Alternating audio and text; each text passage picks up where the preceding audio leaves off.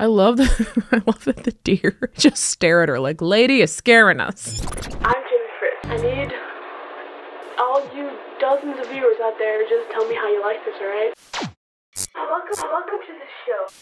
Hey kids, it is my favorite time of year. You wanna know why? No, no, no, it's not what you think. It's not the bitter blistering cold or the part where my skin is so dry that it bleeds. It's not being horrifically shocked by static every 10 seconds or the fact that it gets dark now at 2 p.m. No, no. The reason that this is my favorite time of year is because this is the season when Netflix puts out apocalyptic thrillers, you know, just to make us a little bit more anxious than we already are. And this year, they absolutely did not disappoint when they released Leave the World Behind, which is a, you know, doomsday thriller starring Julia Roberts, Ethan Hawke, Mahershala Ali, Kevin Bacon, and uh, these kids. Mm-hmm. So, this film is based on a book, a novella, if you will, of the same name. And the gist is a family's getaway to a luxurious rental home takes an ominous turn when a cyber attack knocks out their devices and two strangers appear at the door. Ooh, sounds promising, but isn't. Isn't promising in my opinion. But I wanted to talk about it with you guys because I just know that this one is going to be one that is very divisive and sparks a lot of conversation. I'm very, I'm really looking forward to hearing your opinions on this film. Now, there's a lot of symbolism in this movie, a lot of uh, socio political overtones. They deal with race stuff. It was actually produced by Barack and Michelle Obama, which is unique. There's a lot of opinions on that. And I'm very happy to tell you guys that if you came here looking for an intelligent, eloquent, thoroughly researched deep dive on this film as usual, you are in the wrong place. There's plenty of like smart people out there that would have really cool stuff and deep stuff to say about this film, but people who come here, they come here for the fart sound effects. So, friends, this is a long one, okay? Grab some snacky poos, get cozy. You might need an energy drink. I certainly do to get through this script. And let's get ready to face the end of the world together right after today's wonderful sponsor. And now a word from our sponsors. You know what, kids? It's a really good day today. Want to know why? Because I just got notified that my Thrive Market order hath shipped, which means I'm just a day or two away from all of these delicious, low carb, healthy, sustainable, affordable snacks that I purchased with my most recent purchase. Side note, I should probably tell you what Thrive Market is if you don't know instead of just babbling about how great it is. So, Thrive Market is an online grocery store, meaning you don't have to go into a building and see people. They have an amazing selection of organic groceries, snacks, supplements, beauty items, cleaning supplies, organic kids products, wine, meat, seafood, frozen veggies, and more. Basically, they have everything that you could ever want, and they are on a mission to make healthy living easy and affordable to everyone. So, as I mentioned a second ago, I ordered a bunch of low carb stuff recently. I get a ton of stuff from there, but recently I used the feature they have where you can filter your results by diet or lifestyle, and I selected the keto option. And I got so excited because they have so many convenient low carb snacks with minimal ingredients. I also stocked up on my essentials that I talk about in every single one of my Thrive Market videos my Wandering Bear decaf cold brew, my Truffle Hound hot sauce, my little kids coconut oil bamboo bandages that my nephews love. I'm really excited for this keto soup I got by Kettle and Fire. Didn't know that existed, wouldn't have known without Thrive Market. So, friends, as a Thrive Market member, you will save money on every single order of the highest quality organic and sustainable products. And if you find a lower price somewhere else, they will match it. I honestly don't know how much better Thrive Market could actually get. We are obsessed with it in this household. So if you're interested in checking out Thrive Market, having your delicious groceries shipped right to your door, you can go to thrivemarket.com slash Jaime French. Be sure to spell my name correctly, and you'll get 30% off your first order, plus a free gift worth up to $60. Friends, as Jennifer Coolidge would say, what are you waiting for? Head to thrivemarket.com slash Jaime French today to save 30% on your first order and receive a gift worth up to $60. Thank you so much, Thrive Market, for sponsoring a portion of today's video. I love you so much and my Truffle Hound hot sauce. And now, back to the show. So, the opening scene of this flick is Ethan Hawke's character Clay waking up to his wife Amanda, Amanda? played by the lovely Miss Julia Gulia. I mean, Julia Roberts. So, as Amanda is standing in her very blue room, uh, putting blue clothes into her blue-ish suitcase. We find out that she spontaneously booked a trip for her and her family. I went online this morning and I rented us a beautiful house out by the beach. Right off the bat, I know I'm so nitpicky, I know. The opening sentence of the movie just felt so contrived and so over explainy, you know? And I just seem to be working every day without even realizing it. And you are just constantly anxious about your job because of all the budget cuts. Yeah, you know, the budget cuts that occurred at the college where you work as a professor. And so I, your wife of 24 years and mother of your two children, Rosie and Archie, decided we should take a little vacay. I'm always down for a little vacay, especially with the kids. Amanda also explains that there is another reason she would like to get away. I hate people. So yeah, Amanda uh, hates people, like she said, and it's a very prevalent part of this movie. I can't remember the last time I liked anybody. I hate people. I hate people. More on that later. We have a lot to get through. So we get this really long, like over two minute long, you know, opening credits scene. I didn't know that people still did this in movies. I kind of felt like it was a thing of the past. But weirder than that, weirder than its existence is the song that they chose. Nick and I looked at each other watching this like, why? Why this song? But little did we know that many songs on this movie's soundtrack are just bizarrely wrong. I'm sure it was a deliberate, like, stylized choice, you know, but I hated it. Leave the world behind. Uh, see what they did there. So, on the car ride to the rental house, we meet Amanda and Clay's kids. First one is the boy, Archie. Did you fart? And then we have Rose, who is a quite prominent character in this movie. There always has to be a creepy kid, you know? And the fun little quirk about Rose's personality is that she is obsessed with the show Friends. Dad, when we get back to the city, can you take me to see the coffee shop in friends? don't think that's real, honey. Just a set. I cracked up at that conversation because I'm leaving for New York in two days, and me and Nick had that exact conversation. I was like, Can we go to Central Park? And he was like, I don't think that's real. Upsetting. So they make the drive in their beautiful blue car, and they arrive at the beautiful big house, just giggling as they head for the pool. And as you can see by the big red words on the screen, this is part one, the house. I personally feel like it should have been spelled the house because that would have been cooler, but whatever. So they head in and they start to explore the house, and we get yet another very weird song choice for the background music. Is that Blackstreet?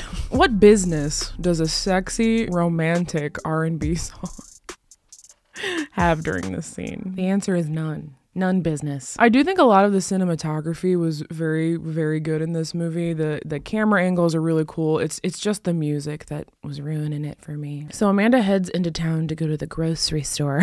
what do you guys say? Do you say grocery or groceries? I grew up saying groceries. Groceries is weird to me, but that's what she said. Groceries. Which is really weird because her her nickname in Eat Pray Love was groceries.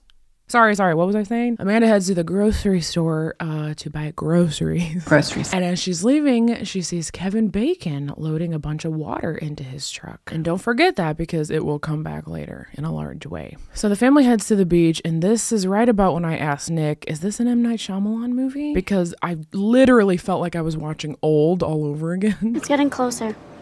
What is?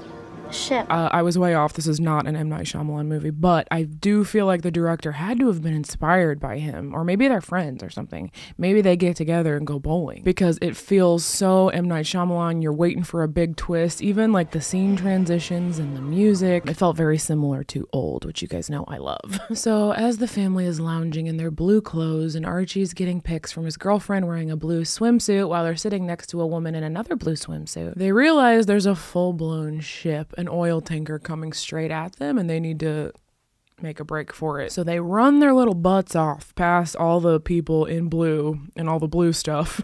and I'm no beach expert, but wouldn't the ship have stopped like way way sooner. You know, doesn't the sand like here's the sand we can see, but then the sand goes on for a really long time? I'm just saying. Anyway, unless you pay super close attention to what this officer says very quietly, you will not have any earthly idea why this just happened. You know what happened? There's been a handful of these groundings up the coast. Something to do with the nav system. I don't know. I'm just glad that Clay was able to save that umbrella that they left behind four seconds prior when they were running for their lives, you know? he must have went back and grabbed it. So on the drive home from their near-death experience, Amanda wants some coffee. There's a Starbucks. I guess Starbucks wanted some promotion in this movie. I googled it. I googled like Starbucks and Leave the World Behind because I was like, is anybody talking about this? It's kind of funny because a couple people talked about this on TikTok.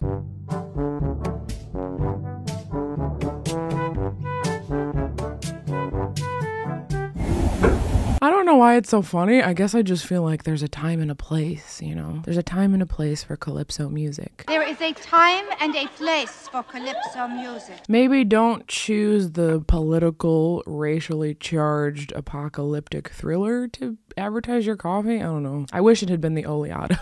that would have made it okay. So that night, they get a knock at the door, and it is this gentleman here, George Scott, and his daughter Ruth, and they explain to Amanda and Clay that they are actually the owners of the house. See, this is why I much prefer life before the internet, because we would have spoken on the phone, you'd have recognized my voice and known that this is our house. I kind of liked this part. It was quite uh, tense. You know, it held my attention. They finally chose the right music. Um, I think this is a cool shot here, and it's one of the only good scenes in the entire film because it makes you think something interesting is going to happen, but it doesn't.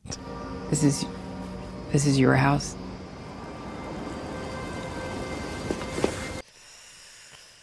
Yeah. The goodness of the scene ends right about there. So Amanda is like a bit of a racist, I guess, and not that great of a person and really doesn't like people, you know, in case you forgot. I hate people. So yay for us that we get to watch all that unfold for two and a half hours. So George explains to them that they were actually driving home to their other house in the city when Then something happened. A blackout. so I guess all the traffic lights had gone out and they felt like it would take them a good six hours to get back to their city apartment. You want to stay here, but we're staying here. Well, under the circumstances, we, we thought you might understand. Well, George, she doesn't. Even if we ignore her being pretty clearly prejudiced, there's this whole other side where they haven't shown any proof that the house is theirs and they could easily be serial killers or I wouldn't necessarily trust anybody that just showed up and was like, This is my house. You want some sort of proof, you know? And maybe that's because we all watch too many true crime documentaries. But either way, she basically says no, she's not comfortable, she's not feeling it. And so George responds with, May I? And he proceeds over to this locked liquor cabinet and opens a drawer that has a gun and an envelope in it with a thousand dollars. And he gives it to them like here here's a refund for half of what you paid for the inconvenience. And that's all good and great but i thought it was so weird. Like they have him fiddle with the cabinet and like use the wrong key. And they went out of their way to show their gun and it just like builds all this tension and it just never comes back. I guess maybe it was to like make the audience wonder if he was trustworthy. Should have listened to my wife and had these labeled already.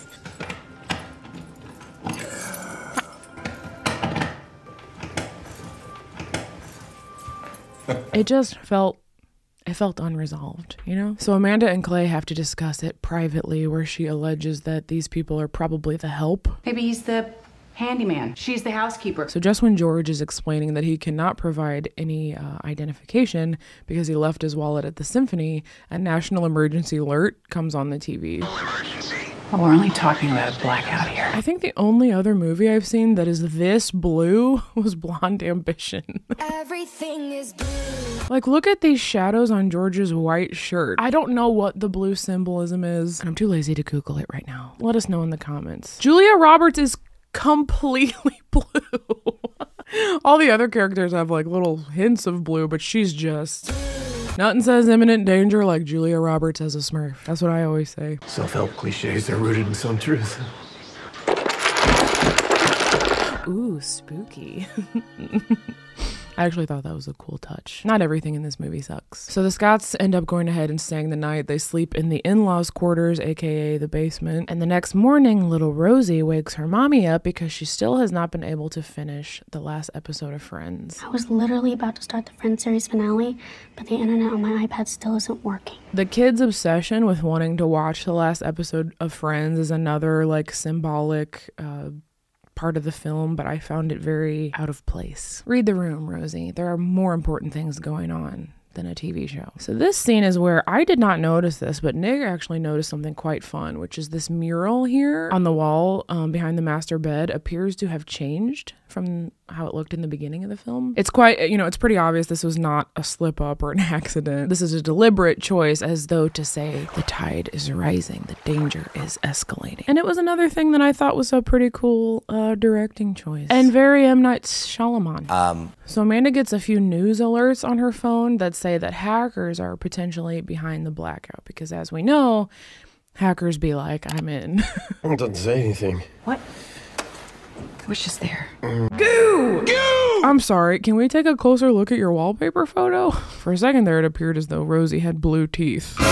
Oh, she does. Okay, she does. She does have blue teeth. So the director was so invested in the blue thing that he was willing to make a little bitty girl look like maybe she's been doing some Breaking Bad meth. Speaking of meth, we gotta take a break.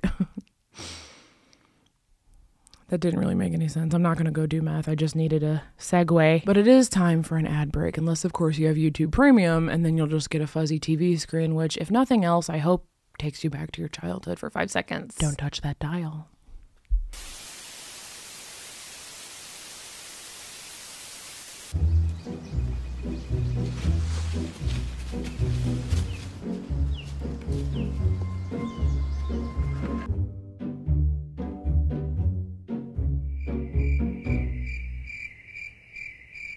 Raise your hand if this is the opposite of the facial expression you would make in this situation. Eight deer just emerged from the shrubbery, and Rosie just kind of looks grossed out. She kind of looks like this. Ew, CGI deer are gross. Get ready, you guys, for the CGI deer because they are very in this movie. They are quite in this movie. And again, it's some sort of symbolism. It's like the animals know that something is happening. Not not that happening. We're just here to use the bathroom. Not that happening. Th- This happening. A different happening. So the animals are being weird. But meanwhile, Amanda and the Scotts are having coffee together. It is wildly uncomfortable, which I guess just means that the acting was really good. And I noticed that this black and white painting in the living room here hath changeth from how it looked in the beginning of the movie. So I read an article, this one was from Unilad, and the article said that the living room painting, which the filmmakers recreated and edited with permission from the artist, gets messier, like it's glitching more as time goes on. But then I saw this other creator on YouTube who did a review of this movie, and he felt that the black and white color of the painting was very significant um, because it represented the characters' races or something. So who knows? What I know is that it was a very good reminder to me of why I absolutely hate modern art.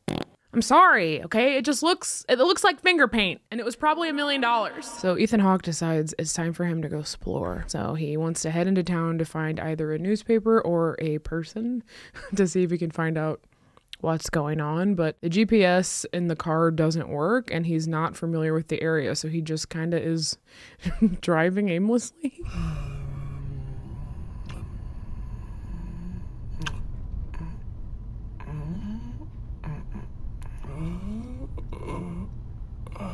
Yeah.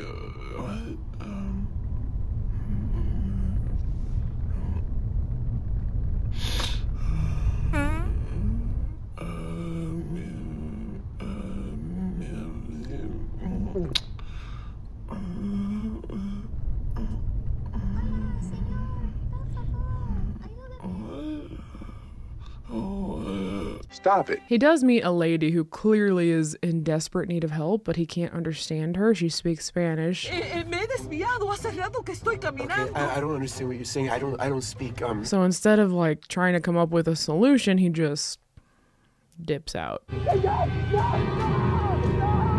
Can you imagine? Can you imagine doing that to somebody? You couldn't open the passenger door and be like, uh, Vominos? He's a dad. He knows the word vominos. I guarantee he probably says it every time him and his family finish eating at a Mexican restaurant. You guys ready to vominos? So while Clay is abandoning people on the side of the road, George is discovering the site of a plane crash. Yeah, he tried picking up this watch and he realized it was attached to a yucky arm, and just then, only then, did he look to his left and suddenly see an entire beach littered with bodies. Most of us would have seen that right away, but we're not gonna nitpick.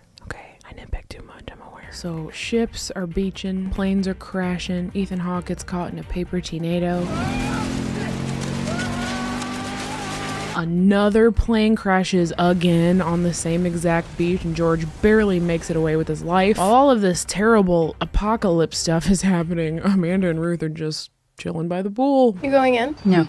You? Seems like a hassle. Why? Because of your hair or?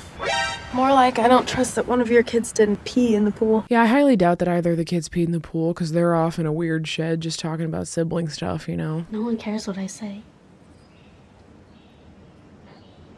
That's probably true. The brother, Archie, is so, such a dweeb. I hate his character. It's nothing against this young actor. His name's Charlie Evans. He's very good. He played a dweeb very good, but the character itself is. He's just. He takes all these creepy photos of Ruth without her consent, and he's mean to his sister. He, like, puts broccoli in her drinks and stuff. He's just. He's a bit of a chunt, which is a cool word that I learned recently that I'm super into. Dante, do they have your permission to use that word? Dante didn't edit this part. It was me! It's Dante's word. He's a chunt! Did you fart? So all of a sudden, there is an ear splitting, earth shattering noise. Where are my kids? The noise uh, appears to be far reaching, is affecting everybody in the area, so naturally they all take their palms and ever so slightly cover their ears over their hair.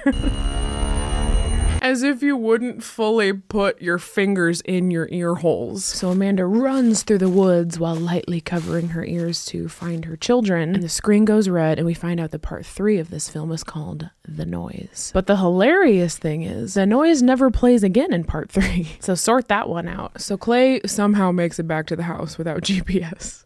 And he's got this little red piece of paper because, you know, there was that drone that was in the sky dropping red sheets of paper. I can't remember if I told you that or not. But he shows it to the rest of the gang, and Archie actually recognizes it to say, Death to America. I don't know what the rest of this means, but but this part it definitely means Death to America. I remember from a game I was playing. What, uh, what game are you playing, Archie? So anyway, this whole death of America thing, this is like the last straw for the Sandfords. They are out of here. They pack their bags, they try to leave, but they can't escape because the only road out of town appears to be blocked by a bunch of brand spanking new Teslas with no drivers in them. Turns out this was the hackers, by the way. The hackers beat like I'm in to the Teslas. They hacked the They hacked the Teslas. and you know what? This was honestly the scariest part of the whole movie to me because I drive a Tesla and it's quite a weird thought to think that a hacker could be like, I'm in and hack my Tesla and drive it for me.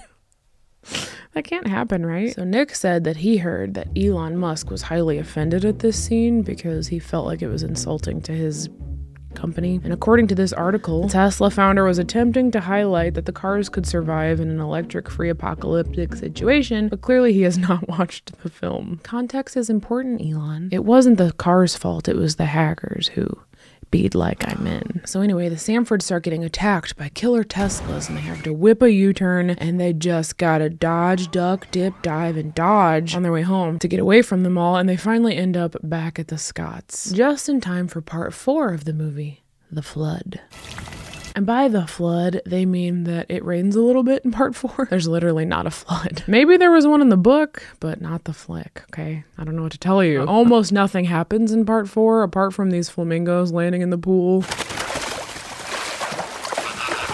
Those are flamingos. Oh, Other than that flamingo silliness, the only other funny parts to me in part four of the film were Rosie still being obsessed with friends and her brother being a big jerk about it. You're not gonna see that show ever again. But my favorite part was Amanda and George having this pretty weird dance party. Oh, uh, uh, uh, oh, yeah, I got some moves. Oh, feel the yeah. And a swirl, yeah. Huh? A black Black Get some. You like that? Do you guys realize that the apocalypse is happening, kind of? Oh.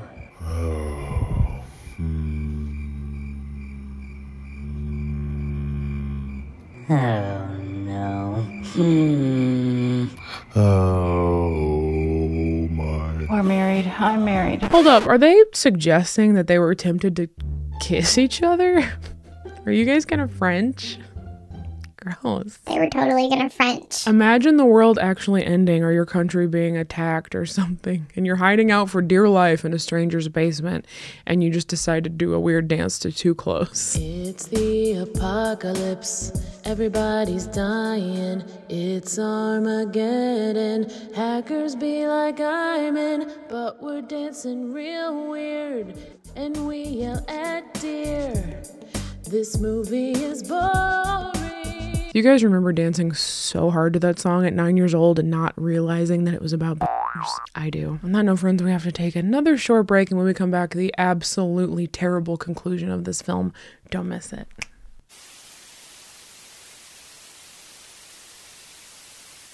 If the world falls apart, trust should not be dulled out easily to anyone, especially white people. So all of a sudden, Archie's teeth start like falling out, or I guess they're not really falling out as much as he just starts pulling them out. They did pretty good with this editing. I feel like it looks quite real, but the important thing is that he is clearly very sick with something suddenly. Archie, stop doing that. Yeah, stop doing that. My teeth. Why did he leave only one tooth in the front? I love how it took him pulling out eight entire teeth to finally look at his mom and be like, my teeth. My teeth. So now we enter into part five, the last one. Part, that is, the last part, Raffle. This is the part where little Rosie suddenly goes missing, but Clay and George have to take Archie to go see Kevin Bacon, who they assume will know how to treat his one tooth disease. My teeth. So the only people left to search for Rosie are Amanda and Ruth, who don't really like each other. And instead of searching for her, they just go in that same weird shed from earlier and yell at each other. Stop yelling at me! Why are you like this? Every day, all day, my job, my whole job is to understand people well enough so that I know how to lie to them. So I Hey, Amanda, just a thought, but your literal daughter is missing and it's Armageddon, so. Armageddon out of here. well, suddenly they snap out of it when a weirdly loud stampede of deer, uh, stampede. I guess they don't really stampede, but they do, they just surround the shed and there's like 8,000 of them. And I don't know exactly what I would do in this situation. My first thought was like, why are you afraid of deer? Deer are harmless. But maybe it would be a little bit scary because there's a zillion of them and some of them are bucks and they could like buck you, you know? So I don't know exactly what I would do, but I know for sure that I would not do this. There's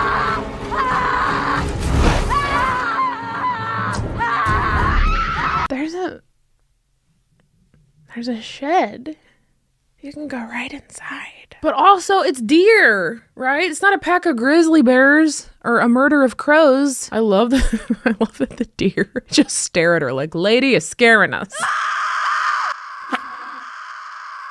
Lady, you're scaring us. I'm going to refrain from nitpicking the fact that these are not real deer because that's low hanging fruit. I get it. It's probably really difficult to round up 8,000 deer to make this point, but it is hilarious, okay? So while the girls are screaming at the deer, the fellas are with Kevin Bacon. I think his character's name's Danny. Danny is all knowing about this kind of thing, and Danny explains that Archie's teeth probably fell out because of the noise. It's got to have something to do with that noise. He explains that that horrific sound that we heard earlier was most likely a microwave weapon. Microwave weapons produces a kind of radiation that can be beamed out through sound.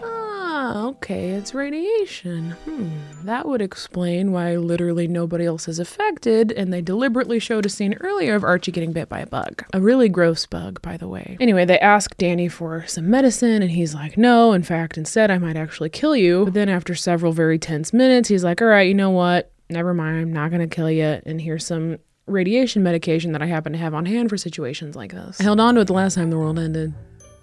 You know what I mean? I don't know how Kevin Bacon would say that. Held on to it the last time the world ended. Hey, that was pretty good. That was Kevin-y. He couldn't tell which. That was Kevin Bacon-y. He also suggests that they go find their neighbor's house, the Thornes, because he's pretty sure that they just built a apocalypse bunker in their basement. You try your neighbors, the Thornes. They did a basement doomsday bunker. What are the odds? And lastly, he tells them that he's pretty sure there are several countries behind the attack. It's the Koreans, the Chinese, one of them. Maybe all this means is a few of them teamed up. And that right there is pretty much the only answer we get as to who is behind all this and who be like, I'm in. But still, it's speculative. You don't ever actually find out if it was the Koreans, if it was the Iranians. We will never know. So throughout this whole movie, there's a few moments where George seems to know something and he doesn't really want to share or he'll like share a little bit, but it doesn't really progress the plot at all. And finally, right here, just as they're about to pull away from Kevin Bacon's house, he explains to the guys that in his line of work, he had actually heard of a plan like this before that could collapse a government with three simple steps. First stage was isolation. Is Starbucks involved in that stage? Or? There's a Starbucks. For the second stage, synchronized chaos. So, synchronized chaos would be to terrorize the target with covert attacks and misinformation so that without a clear enemy or a motive, people would start to turn on each other. And if done successfully, stage number three would happen on its own. What's the third stage? Civil War. So that I guess seems to be what's happening. And I, I, have to admit, I was on the edge of my seat at this point. I was like, the climax is coming because there still hasn't been a climax two hours in. Meanwhile, Amanda and Ruth are still in the woods searching for Rosie and they find her bike path leading to this house, but they get distracted because they look across the water and see that New York is being blown up right just now. It was definitely unnerving to see that, but you don't really get to feel any emotion for very long because it immediately cuts to Rosie eating a bunch of cheesy poofs.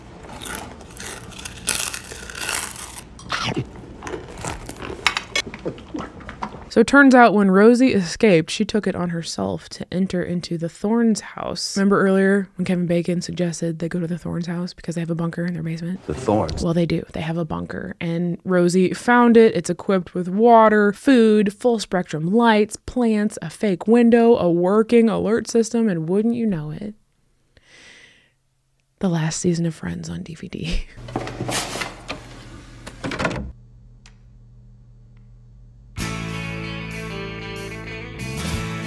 And that is the end.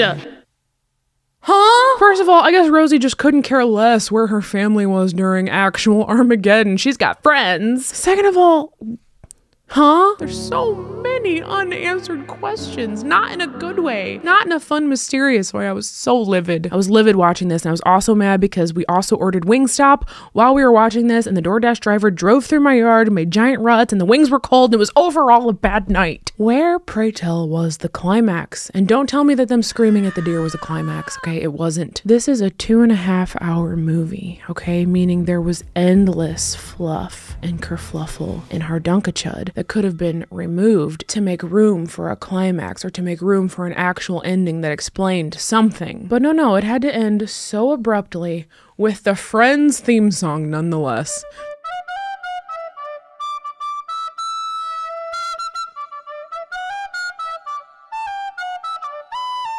The Friends theme song. It doesn't fit.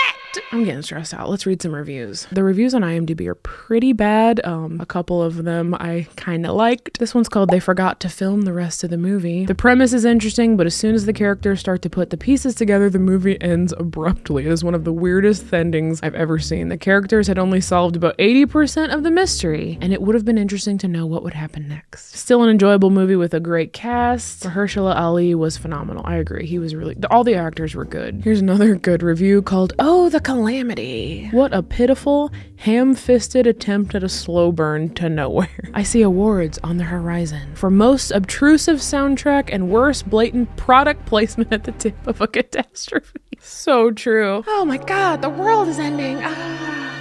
Ooh, Starbucks. There's a Starbucks. Me personally, I give it a solid 5 out of 10. Like I said, it was really good acting, good cinematography. I, I really wasn't plagued by this burning desire to turn it off halfway through. Nick was. Nick was very bored halfway through, but I was into it. But the plot never advanced, the ending never came, and the deer screaming was weird, but also hilarious. So, friends, in conclusion, in my humble opinion, I think that we can leave, leave the world behind, behind. I do fully understand, again, that there was a ton of symbolism in this and deeper meaning to this movie, but like I said in the beginning, I'm just not very deep. Thanks so much for being here, for watching. If you would like more content from me, um, I do have a vlog channel. I do have a Spanish channel and Espanol for those of you who parle Espanol. Wait, parle's French. Who habla. For those of you who habla Espanol uh, and you want to check out my content in your native tongue, you can head to my Spanish channel, vlog channel. Uh, I do different content on Facebook. I'm just everywhere. You can't escape me. So thanks again for being here. I love you, friends. Leave your thoughts, questions, concerns, and injuries I should be aware of in the comment section down below. And I'll see you in the next video.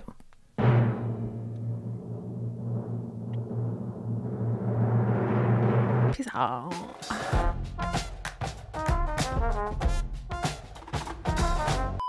Why didn't anybody die?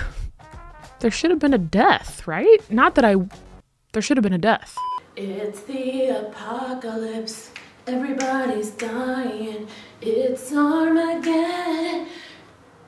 Hackers be like I'm. Hold up, I actually still don't understand what the animals were doing. What were the deer?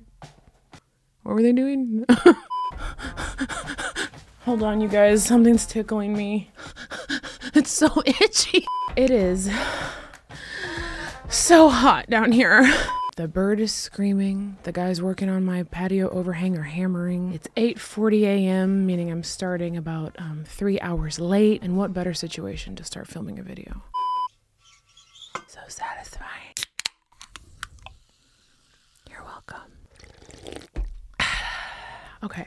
You know it's funny? I didn't know who Elon Musk was. I'm so detached that I didn't know who Elon Musk was until like two years ago, I think it was, when Kalel came to my house. You guys follow Kalel? She came to my house and she was like, Are you.